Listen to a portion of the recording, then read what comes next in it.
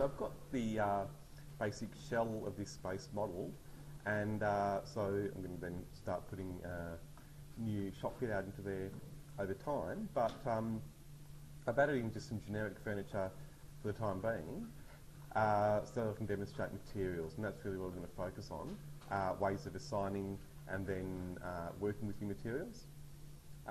And but along with that, I'll show you some ways of uh, first putting in some of these different elements and some things that might help you, especially with a retail space.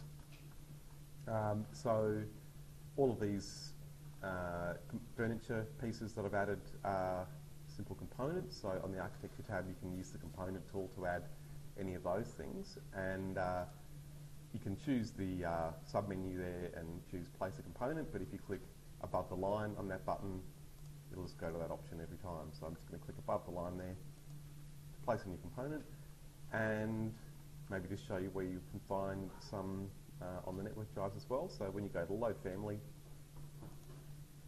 then you'll get the default library which has a lot in it, but uh, we've got a lot more if you go to the folder on the P drive or student resources and then edu DC interior design and then you'll see Revit library and uh, if you don't see that on the left you can see over here in this grey area I've got a shortcut that says Revit, Revit library as well um, so that would take me to this folder uh, the way it's set up.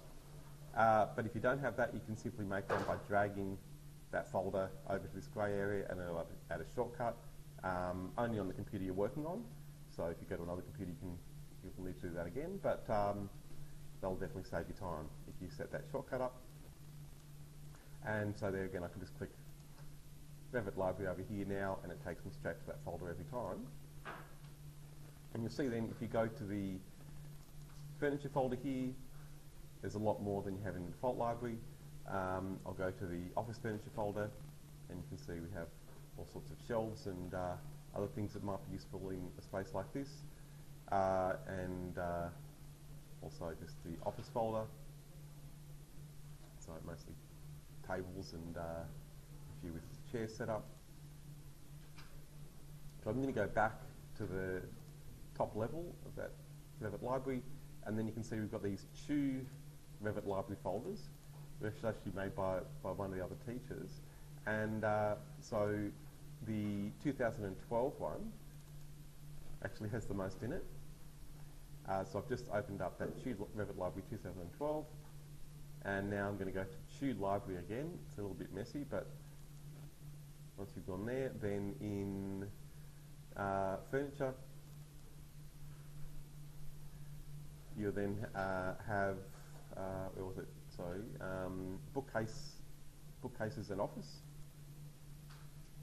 which might have a little bit more that could be useful in retail space. So the bookcases here, some of them weren't too bad. And the Herman Miller things are really good. Uh, you can't see thumbnails for all of those that are from Herman Miller. Got a couple. But, uh, but try them out and uh, you'll see that I've put all those into my space, so I'll show them in a second.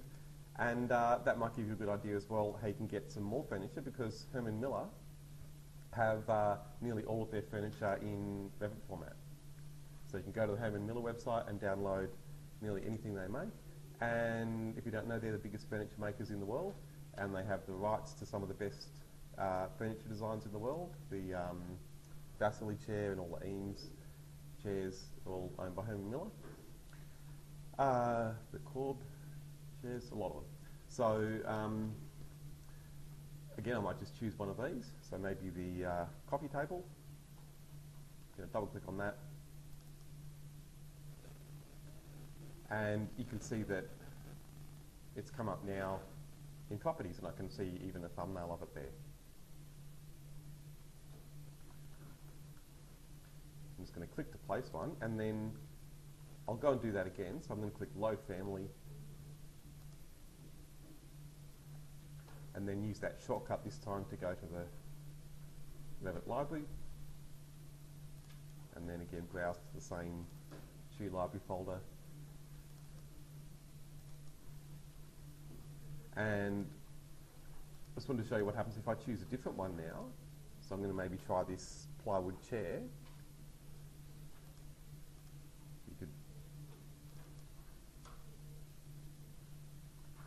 And you can see there that it hasn't changed in properties.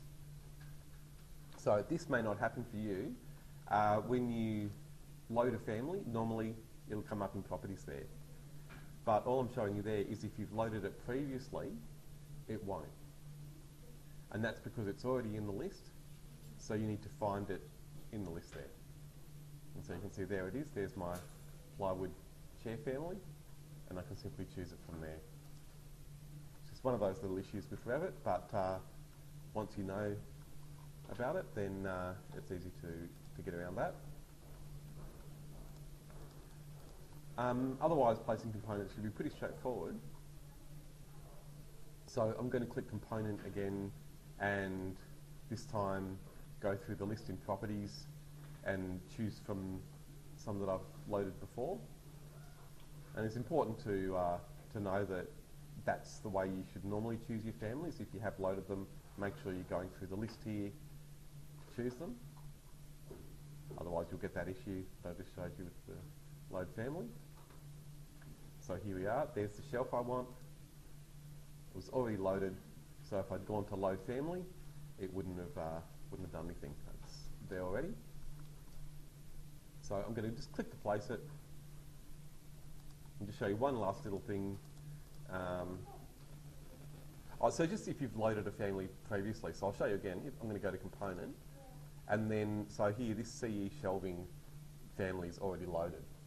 So I'm going to go and choose a different family. Say I want to place the coffee table instead.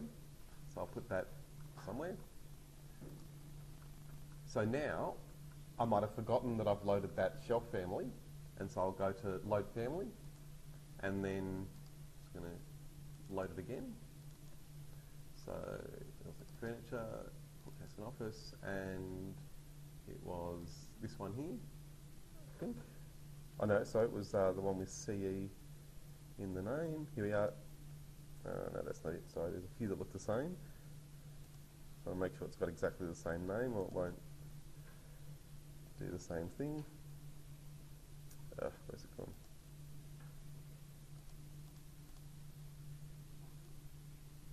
Yeah, they, yeah, it definitely looks like that. Um, maybe I'll, I'll, try it. I think right actually. No, that's a different one. Uh, well, okay, so Natasha shelf unit, I've loaded that one now. So I'll place that somewhere. Maybe we'll do some floating shelves. So put a couple of those in. Oops. And then, again, back to component, and I've gone to do something else. Place a different family. Then now, again, I've forgotten that I put this in somewhere before, so I'll go to load family and find it.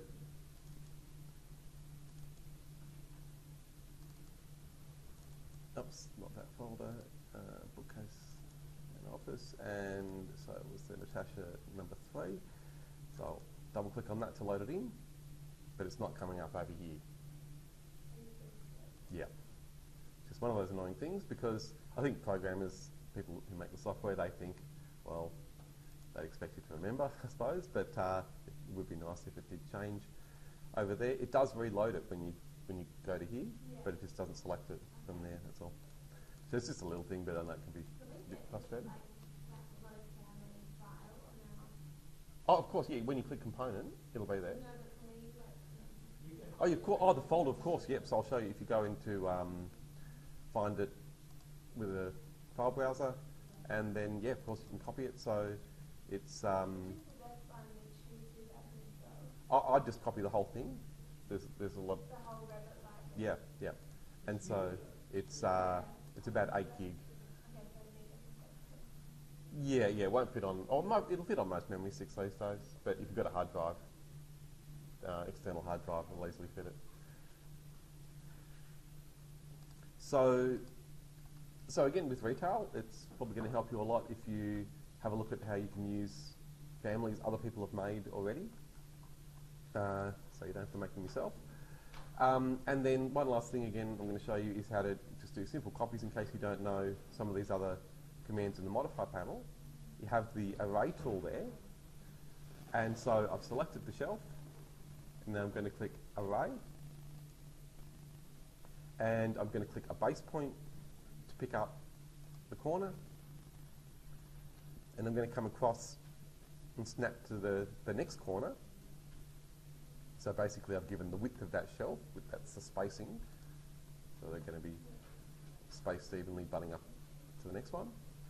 And now it's going to ask me for the, the count or the number. So I'm going to type 8, enter, and you can see then I've got 8 identical copies. If I select any of those now, I can find the count again and just that number. Try 10, yep, that works pretty well.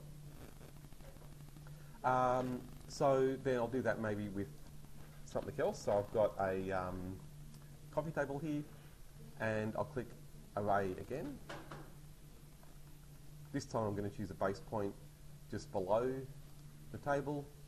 I'm going to come, come across to the left and just click a point, um, yeah, two meters, maybe a bit further actually, two and a half.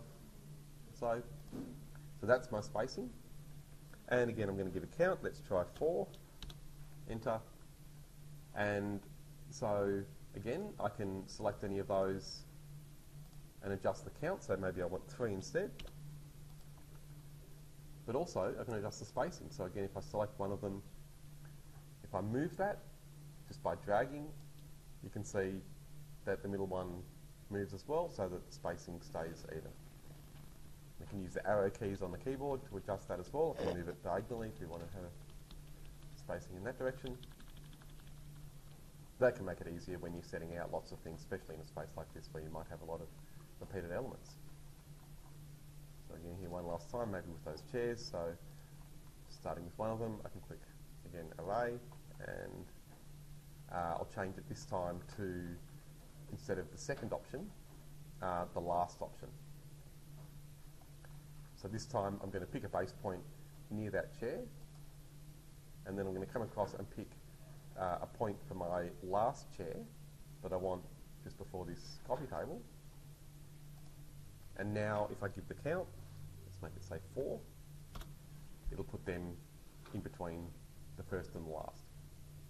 So instead of giving a spacing from the first to the second, uh, sometimes it is more useful to give a spacing to the first and the last so you can fit, say, in between two different things. So here maybe four is too many, so I'll try three. Again, can easily adjust the count. So looking at those things in 3D, you